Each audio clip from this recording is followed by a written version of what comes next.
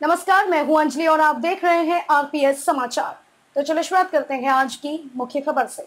Bike अनियंत्रित होकर पेड़ से टकराई। बाइक पर सवार दो व्यक्ति गंभीर रूप से हुए घायल। अफसलगढ़ काशीपुर मार्ग ग्राम बादीगढ़ के समीप कहरीपुर रोड स्थित सिंचाई विभाग कॉलोनी बाइक सवार रूपेश पुत्र हरकेश सिंह 25 वर्षीय निवासी भजरावाला तथा एक ही बाइक पर बैठा दूसरा व्यक्ति प्रियांश पुत्र खूब सिंह, तेईस वर्ष निवासी बजरावाला दोनों एक ही बाइक पर बैठे करीपुर से पाइपलाइन का काम करके आ रहे थे। जैसे ही करीपुर रोड स्थित सिंचाई विभाग कॉलोनी के पास पहुँचे, तभी रूपेश पुत्र हरकेश सिंह की बाइक अनियंत्रित होकर पेड़ से टकरा गई। बाइक पेड़ से टकराने के बाद दोनों बाइक सवार मौके पर ही गंभीर रूप से घायल हो गए। घायल को रागिरों व प्राइवेट एंबुलेंस की मदद से सीएससी अफसलगढ़ लाया गया, जहाँ पर डॉक्टर रजनीश प्राथमिक उपचार के बाद दोनों घायलों को गंभीर अवस्था को देखते हुए बिजनौर हाई रेफर कर दिया। संवाददाता आमिर पठान की रिपोर्ट। खबरों में अब तक लिए बस इतना ही। मिलते हैं फिर ऐसे ही बड़ी खबर के साथ। तब तक के लिए नमस्कार और देखते रहिए आरपीएस समाचार।